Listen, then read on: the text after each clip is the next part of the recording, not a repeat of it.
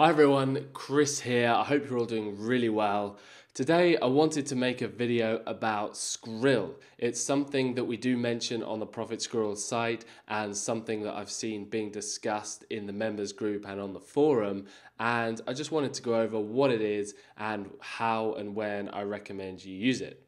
So basically what it is, if you've ever used PayPal, the e-wallet, the virtual wallet, it's basically exactly the same thing, but what Skrill does is it tends to sync up to more bookmakers than PayPal does. So it's a great tool for moving money between bookmakers. So picture the scenario, you have £50 in Ladbrokes that you want to transfer to Bet365.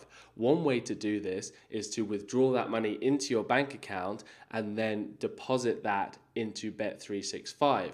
But the trouble with that is that it often takes a few days for that to happen. It can be slow to come out of the bookmaker into your account and then vice versa. You got to then deposit it into the Bet365 account and the whole process can be a bit slow and cumbersome. Skrill is supposed to relieve that issue and it does and it does it well. You can actually transfer money between the bookies really fast and that's great. Uh, but just one thing to be aware of is that for some offers, you're not actually eligible if you deposit using Skrill.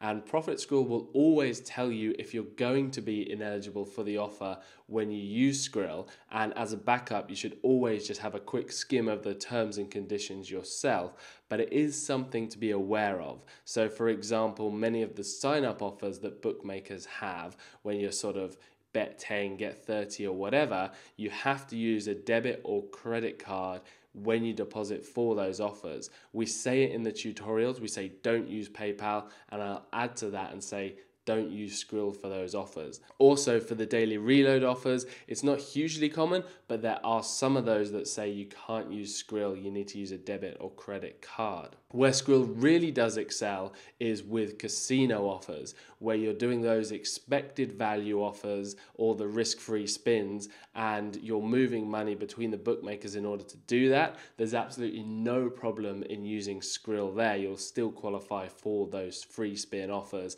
and uh, all the rest. So if that's what you're doing a lot of, I'd say get yourself on Skrill. It's completely free to sign up. I'll drop the link below and you can also find the link in the members area and that should help you a lot and save you a lot of time, which is really valuable. Another thing I will point out with Skrill is that if you want to withdraw money from the e-wallet that you have with them into your bank account, they will charge you a fee for that. So I suggest trying to avoid that the best thing to do is say you have a £100 in your Skrill account that you want to withdraw into your bank account, is to pop that into a bookmaker first, and it's fast to do, and then withdraw from the bookmaker into your bank account because there won't be any fees that way.